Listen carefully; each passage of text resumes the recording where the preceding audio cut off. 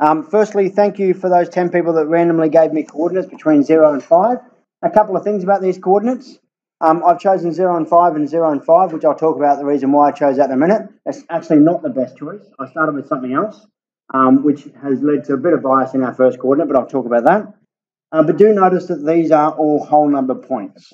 There is an element in your assignment that asks you to consider the merits of using whole number points compared to using not whole number points and decimal values. Um, so I'll leave that with you to consider. That's one of the more in-depth things that you need to take on yourself. But for now, I've asked you to generate randomized points between 0 and 5 and 0 and I'm calling this, I don't know, 5 there. My scale's a bit wonky, but that's all right. So what I'm basically doing is selecting coordinates inside that box. Now what I want to do is estimate the area of this triangle. And I know that we, we can work out the area of the triangle fairly trivially. So this triangle has a height of 3 and a base of 5.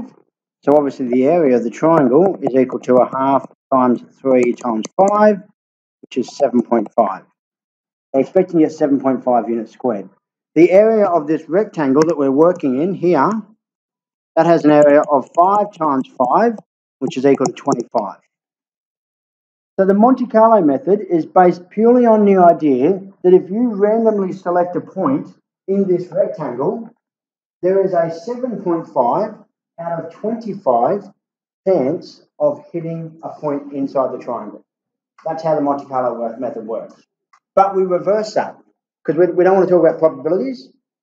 We're going to reverse that around because we know the 25 because we picked the rectangle. What we don't know is this area. That's what we're trying to find. So instead of working out a probability of hitting this area, we're going to smash into that area, into this rectangle, a thousand points or a million points or something like that, and then use those points to determine an approximate area. So we're going to reverse that probability calculation. I'll show you how. So let's start with these coordinates, and I'll quickly plot them in purple. Um, so 2 comma 1 is um, somewhere it's about here. I really should have done a better scale, but I didn't. It's probably not about there. Uh, 4 comma 3 is up here somewhere. 2 comma 5 is up here. Um, 1 comma 2 is about there. 0 comma 4 is about here. Uh, 0 comma 5 is up here. 2 comma 2 is about there. Uh, 1 comma 3 is about there. Um, we're up to 0 comma 5 is up here again, so I'll circle that to show there's two points there. And 4 comma 3 is also, is that a repeated point? It is, so I'll circle that. Okay, so you can see our coordinates, and I can see here that one, two, three of those randomized coordinates are in the triangle, which means seven of them, one, or actually I'll do this in a different color. Welcome. Um, one, two, three, four, five, six, seven are outside of our triangle. So what this suggests is that the triangle represents three tenths of the area of the rectangle. And we've gotten really lucky here because if we determine the area based on that calculation, three of our coordinates, three of our randomized points are in the triangle out of 10 and the area of the rectangle is 25, and 3 tenths of 25 is 7.5. Um, so we actually just predicted the area of the triangle at random, um, and we're really lucky. But there's a couple of considerations there. First of all, the larger I make this rectangle, the more points it will land outside of the triangle, and the less value those points will have. Basically, you want to make a rectangle that fits your area, but doesn't overdo it and that's going to um, really help you. So you see there's um, stuff in your textbook, the Monte Carlo methods in your textbook, and there's stuff on the assignment that um, expect you to explain why and to choose the smallest possible rectangle. So consider why that's the case. Um, in this case, and now this is a really bad example, but you know that's the risk I took. In this case, we got the exact area, but you know what? If you take 10 points, you're probably not going to get very close to the exact area. 10 points is a very small set of um, data. You really want to take 100 points or maybe 1,000 points. If you want to get an accurate area of the, the land that you're doing, then you're going to want to take as many points as possible. But there are also limitations, and keep in mind that's in your assignment as well. The limitations are that if you take a 1,000 points, someone has to count how many of those points are inside the area and how many are outside the area. So you've got to make sure that you consider those limitations and you do it reasonably. Now, some of you might then automatically think, I know what I'm going to do. I'm just going to sacrifice a bit of time and do 10,000 points and get a really accurate area. That won't help you. Um, we'd like you to get a really accurate estimation, but actually, what we care about more is that you just do something that's reasonable for a human to do and then discuss the limitations. That's the more important thing to us. Uh, what I'm going to show you now, though, is how you could use Desmos to help you and how you could use Excel to help you. Um, Excel is really helpful for a function, not so helpful for the last and then you'll have to adapt uh, so I'm going to just crack in Excel. I, I started preparing stuff, but I didn't get very far this morning. So let's get an Excel document and I'll show you a couple of extra formulas that will be helpful for you.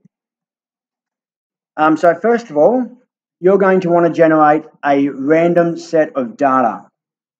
Now I asked you to give me a random set of data and I said, in my random set of data, I said, can you give me two numbers between zero and five? And two people gave me the numbers zero and five straight away that implies a little bit of bias on the way that I spoke, and there's some issues there. So you don't want your random set of the data just to be you making up numbers because that will give you bias. Um, so you got to be careful of that. So Excel is going to be the best place. There are also random number generators online, um, and the merits of them all vary, but they'll all be good enough. So I'm just going to choose a set of X data and a set of Y data, and this is how I do the random sets of data. Um, and there's a couple of little nuanced things in here to help you. So first of all, if I just type in RAND, that returns a random number. I have to do open close brackets to make the function work. That returns a random number between 0 and 1. So you'll see there it's to um, six decimal points, and I think you can make it, it goes up to 10 or whatever it goes up to there. So there's a random number between 0 and 1. If I do something else over here, it'll change that number. Um, it just continues to randomize it as I go. You can play with that function if you want to.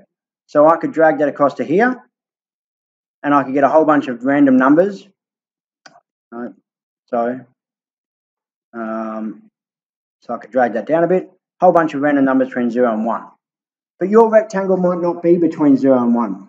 Your rectangle might instead be, um, so I might use this one because it's the one that I probably should have used on my triangle. That was 3, that was 5. So it might have a width of 5 and a height of 3. So I want random numbers between 3 and 5. So there are a couple of things you can do. Um, first of all, Excel has this function as well. I don't know what's going on here. Okay, there we go. Has a rand between function. So that gives you a random number between brackets. The, the bottom is 0, the top is 3, close brackets, and that gives me a random number between. Sorry, my I should have brought my mouse up. Um, but you can see what happens here.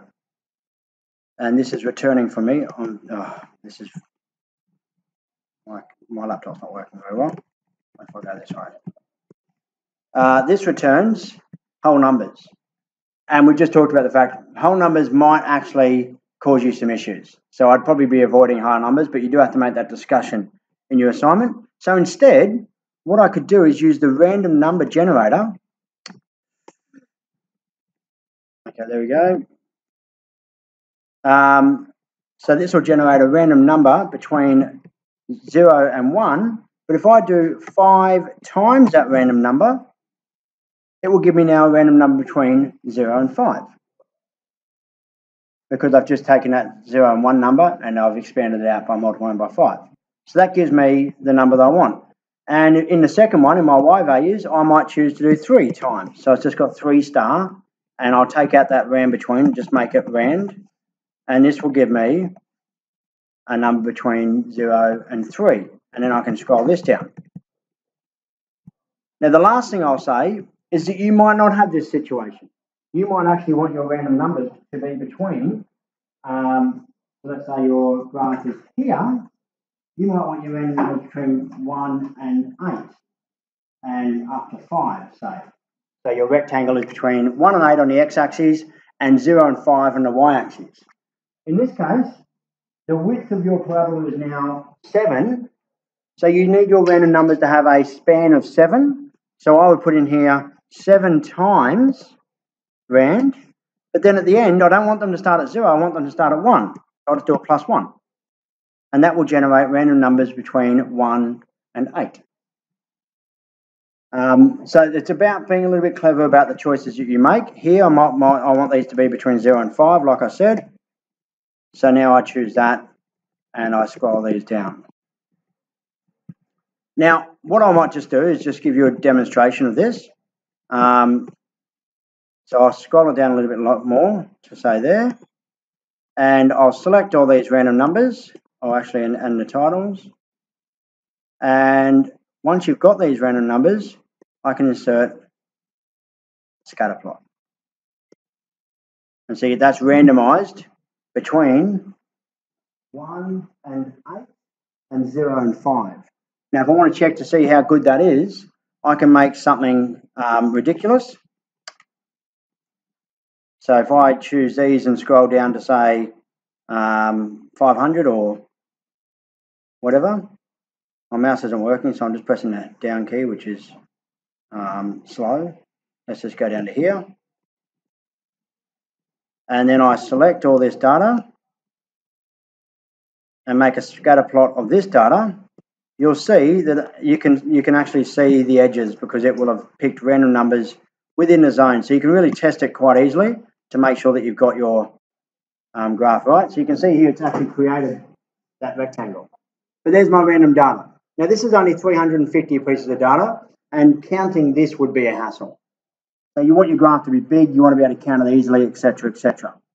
Um, what's this function, by the way, just here? It's a parabola, has a peak of 5, goes between 1 and 8. Let me know what that function is. Can you tell me for me? So this is going back in time. y equals, what is it, ax minus something squared plus something. Plus 5 because its turning point is at 5. What's this point here in the middle? So 4.5, so it's x minus 4.5. A has to be negative because it's an upside down parabola. It goes through 0, 1. So let's put 0, um, 1, so 1, 0 into here. And I get 0 equals A times negative 3.5 squared plus 5. Um, what's negative 3.5 squared? 12.25? So it'd be 5 over 12.25, which is 20 over 49.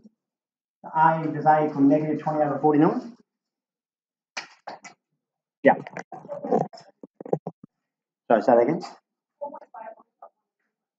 Uh, because I put in this coordinate, which is 1, 0, and 1 minus 4.5 is 3.5. So anybody watching this video, I've just done some stuff. Um, but more importantly, I want to show how we could transfer this across to Desmos. Um, in the assignment, you get given that function, and I'm sure that you could determine that function if you needed to. So I'll just quickly get on to Desmos here and show you how we can sketch that function and then sketch the data. Doesn't like me to know. Okay, so the function was y equals um, negative 20 over 49 and then x minus 4.5 close brackets squared plus 5. So there's my function. It goes between 1, 0 and 8, 0 and has a peak at 4.55. So that's how it looks. And now if I go back to here, sketching the function itself on, um, on Excel is quite tricky and hard to follow, but Desmos steps in here and is really good. So if I select all this data, and I can select a lot of data, so I could do a thousand points. Um, but if I select this data, then I can, so what, how many points have I got here? Oh, got more than I thought. Oh, there we go, I've got 374 points.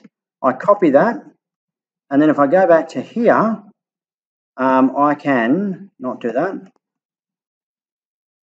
I can add a table and I can paste that data in the table and there it is there. So now I can see this data on my graph and I can zoom in a little bit and if I needed to I could do some counting on that. Okay now what I've pre-prepared is this. I'm going to talk about this and I'm going to talk about how you can use a spreadsheet for a function. So I've said, imagine if we actually wanted to find the area of the block of land that our college is on. So I've taken this from Google. I was playing with this earlier and then I got stuck with a couple other things and ran out of time. But what I have done is you'll see down here, that's the scale from Google Maps. So whatever it is that you've got. My scale is has 100 meters on Google Maps. So I have spread that image out to line this 100 meters up with my axes and make it equal to 100 units on my axes. Now, there's no reason why you couldn't make it equal to 10 units and then do some sort of area scaling later on. That's fine. Or even one unit, whatever works for you. I've made it 100 units. And at the point where I stopped doing this, I was just playing with dragging the college around so that it um, met there. And where's the base of the college? I want to have this go down there. So I'm now saying that the college grounds go between that, that's the far edge corner, and that's on my y-axis. This is the further south corner on my x-axis. And I can see the widest point is just here on Abraham Road at about 512. I want to make the smallest possible rectangle for my data. So I know the college is 500 metres wide. And it goes from zero up to here, which is a bit over 600, 620. Is it 512? No, it's 500 and, um, I'll go up to 540. So I'm going to go 500, 0 to 540, and then 0 to 620, and then I'm going to plot that data on this graph. So I'm just going to quickly do this, and I'll do it for 100 data points. Uh,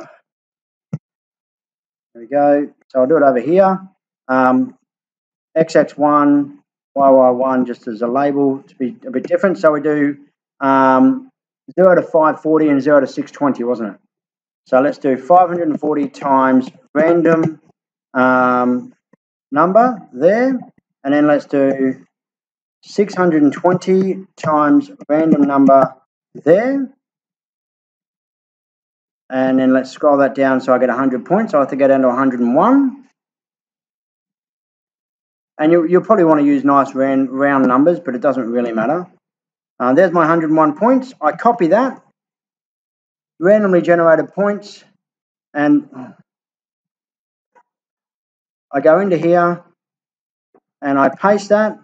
There's my data, there's my points, and now I can go through and count the ones that are inside the college grounds. So I'll say that's not, that's one, two, three, four, five, six, seven, eight. Now I know the area, of the rectangle I used, 540 times 620, and then I can work out what percentage of points landed in the college grounds, and I can work out the overall proportion from that. Is that all right with everybody? Um, a couple, a couple of little things. I know that about half of you are just sitting working on your computers, and that's your choice. And I'm hoping that you won't come back and expect me to reteach you this.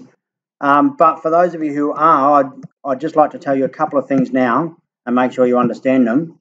Firstly, you'll note here, this can be quite frustrating, and people do find it frustrating each year, that when I, you'll collect a set of data and you'll do some stuff with that data, but if you don't copy that data before you do stuff with it, if I do anything to the spreadsheet now, my random numbers completely change. And people, in the past, people have done stuff with their data and then done something with the spreadsheet and lost their data and they don't have a copy of it. And then all the stuff they did, they have to redo. So my suggestion to you is once you've collected data, you'll notice mine's on mine I've just copied to put in Desmos, so it's on my clipboard at the moment. Put it somewhere else in a new spreadsheet by right clicking. Oh no, it's not on my clipboard anymore. So so select the data, I'll select say this much, and then paste. But if you go to the second paste option, that's paste values, not paste formula, but paste values. And now, whilst this set of data here is a set of numbers based on a formula, this set of data is a set of values. And so if I go across here and change the spreadsheet, you'll say that you'll see that these ones change, but these ones don't. And so now I've saved those values. So I suggest as soon as you've said you've got your random numbers that you want to work with, then copy paste them to a spot and keep the values. You can ask me that if you want to. That's the first thing. Just it's just how the random number generator works. Yeah. It just re-randomizes every time. It actually means if you if you did something and somebody will do it because people are crazy. If you do like a million numbers, then it'll actually probably your computer will stall for a second every time you put something in there because there'll be so much randomized data. Yeah.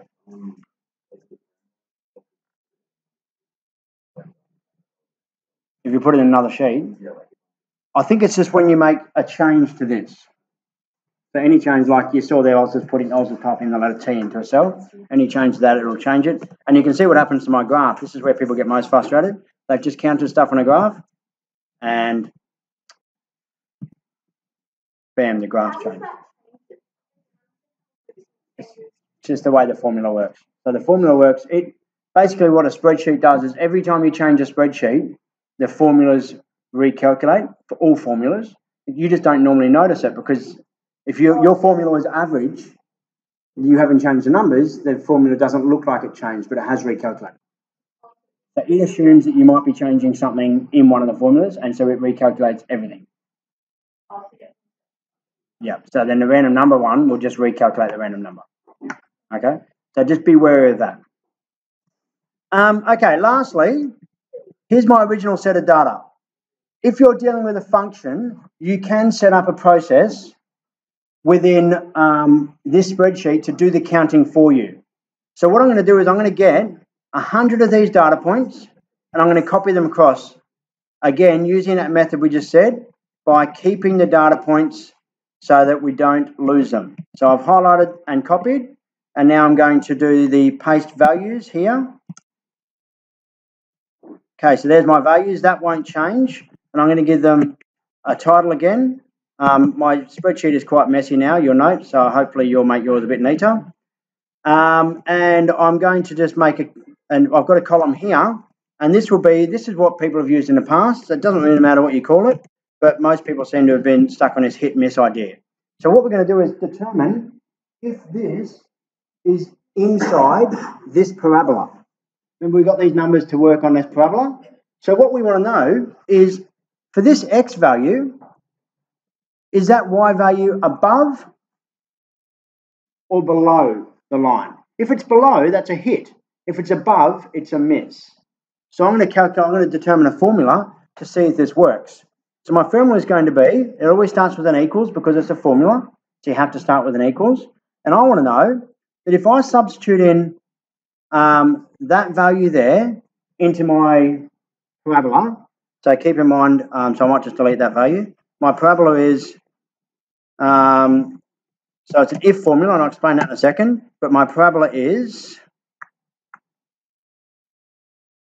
um, 40, 20, no, negative. So I'll put that in brackets just to make sure it works. Negative 20 over 49, close brackets, times, open brackets, and this is D2, so that's calling my X value, um, minus 4.5, close brackets, squared. Remember we do our squared by doing the hat symbol, 2. And then I've got a plus 5 on the end, plus 5. And I've substituted that point in. That will give me the curve for that x value, so the curve point, I want to know, is my y point below the curve point or is it above the curve point? So my curve point is, um, I've just substituted in, what's that first number? 7.82, which is right over here. So the curve point will be about here. I want to know, is the randomized y value 1.72, is that below or is it above? If it's below, it's inside my function. If it's above, it's outside my function. That's what I want to know. So I'm going to test that um, and say, is it below? And the value is E2, that's my Y value. And if it is below that, that means my Y value is above, then I want it to return miss. And if it's above it, I want it to return hit. Now, I might have this wrong. I might have to use speech marks. I'm not 100% sure. Let's just check. Um, I think I do have to use speech marks in here. So I want it to return miss or hit. So the first one is a miss. But now I can drag that formula down, all the way down to 100, and it will tell me which ones were hits and which ones were misses. So remember that calculation that's going on in there. The spreadsheet is determining for you what the curve point is for that x value, and then is that above or below the y value. You can flip this around and say, is the y value above or below the curve value? You can write it in lots of different ways. Um, and it will feed back to me a hit or a miss. And then what I can say, and I'll just delete this and this one. Um, what I can say then is I can do a COUNTIF function. So inside this function, I did what's called an if function. That if this thing is less than E2, then return miss, otherwise return hit. Then I'm going to do a COUNTIF function here. I'm going to say equals count if. It's, it's basically the English language applies here. So COUNTIF just counts what's in there. I want to COUNTIF first my range of values. So I want to count my F column, all of these data points here. So I'm going to highlight them all. If you have a mouse that's working, which I don't have, you could always just use that. And I want to count if they are hits. So I'm going to type in here, I'll just go back up to the top. I'm typing in there, speech bubble hit, close bracket, and it's going to tell me that 66 of them hit. I had 100 data points, 66 of them hit. That's telling me that 66 out of 100 data points are under the curve. That means by Monte Carlo method, we can work out an estimation. Um, and I'll just quickly go back to here. I might just screenshot all of this. Doesn't have the um, values, but I'm making a video of this so you can get them from there. But if I just screenshot this, uh, and take this back here, I'll do the final calculations with you, and we might even do an integration just to check our value. So if anyone wants to integrate that area while I'm quietly doing this, you're welcome to, and tell me yeah. But basically, this is saying that the proportion is 66 out of 100 hits, means that the area under the curve equals 66 over 100 times the area of the rectangle.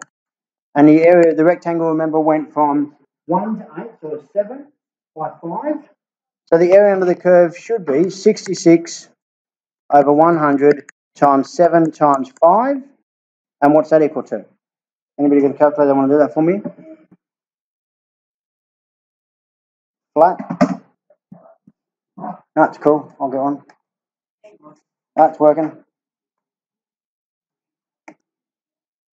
Uh, was it? Six, 0 0.66 times 7 times 5. So it's saying 23.1. It is an approximation method. It's based on probabilities. 100 data points is good, but it's not perfect. And every time we change that spreadsheet, we've got a different set of random numbers, so it could change. Um, but you'll notice here that if I actually calculate the integral of that function there, which I might just expand out because it's going to be a bit of a pain. So negative 20 on 49 um, x minus 4.5 squared plus 5 and dx. So it's not the nicest function. I want to do the integral between 8 and 1. In fact, you know what I'll do? Forget that. We'll use, um, yeah, we'll use technology, and I think I've already got it typed into Desmos, so I did. So, did I? There it is there. So in Desmos, I can do nothing because my mouse is not working. There we go. I can copy that. And if I type in the Desmos int, it gives me an integral. I can do it between 8 and 1 of the function. I have to put brackets around the entire function, no. Not the entire integral, but around the entire function. Otherwise, it, it doesn't like it. And then do dx. Remember, we are hoping to get about 23.1. 23.33. So it's not perfect. Um, just to take this a step further, if I took that formula, hopefully it will copy well, and put it onto my actual random numbers, um, there, then you'll see, and I can drag that down. So that's gone right down to 350 data points. So this is doing it for my random number sets, and I can do my COUNTIF function here again, but this time I'm going to do it for column C. I'm just making a quick change, and you can watch this on the video if you'd like to. Um, but we're right down to 300 and something, 375, I believe. So it's going to count all my hits in this column now. But every time I change the spreadsheet, that column will change.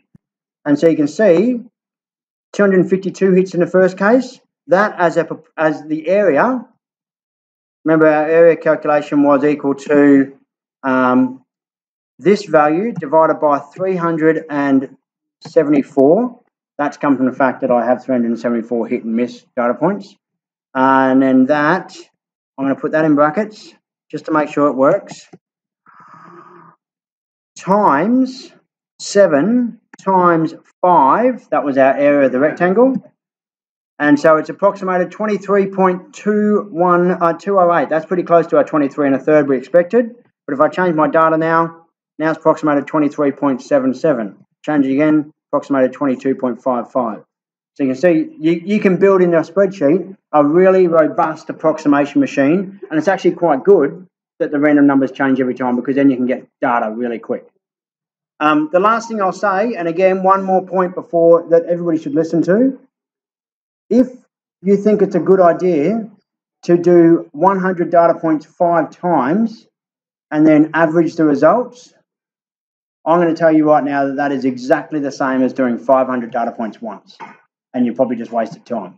Um, so just just be mindful of that because if you do something like that, that's actually just you generating data repeatedly, which could be more easily done just once you're actually not showing that you understand what you're doing, and that can detriment what's um, your overall probably modelling grade. So just keep that in mind. Um, there is a benefit though to doing that. You could do 100 data points 10 times, and then you could work out the standard deviation of your 10 results and talk about how spread out your results, which will then tell you um, whether they are predictable and therefore whether they're good results and the accuracy. So you could, there is a benefit to it, but it's only useful to do it if you actually apply that benefit. Something to think about. Are there any questions? 30 minutes.